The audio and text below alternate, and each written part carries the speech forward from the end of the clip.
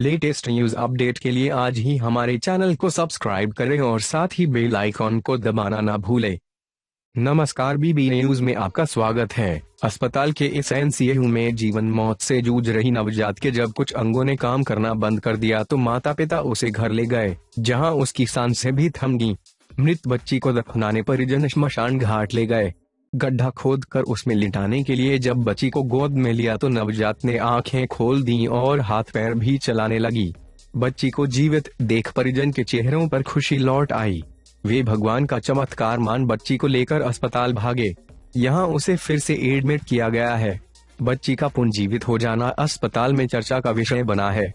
लखनऊ निवासी शिवम द्विवेदी की पत्नी स्वाति द्विवेदी ने गत 13 नवंबर को ऑपरेशन से के में बच्ची को जन्म दिया था। शिवम द्विवेदी ने बताया कि अस्पताल में कुछ दिन रहने के बाद स्वाति डिस्चार्ज होकर महाराज बाड़े के पास स्थित माके में रहने लगी। बच्ची पूरी तरह ठीक थी।